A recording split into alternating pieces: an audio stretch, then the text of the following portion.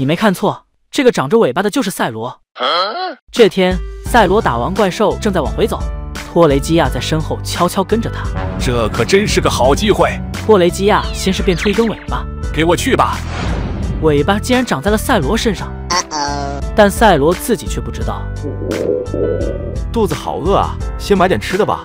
给我来一块奥特曼巧克力。不行，这个不能卖给你。嗯，那就买一袋奥特曼饼干吧。你不要再说了，我说不行就是不行。我还是先回家吧。他来到公交站等公交车，车来了。这个奥特曼我不认识，应该是新来的。喂，二路车开往光之国，你不是奥特曼不能上车。他肯定不认识我，那我等下辆车吧。又来了一辆公交车。太好了，这次开车的是泽塔，他肯定会让我上车。可赛罗万万没想到，下车，快给我下车！赛罗又被赶下车。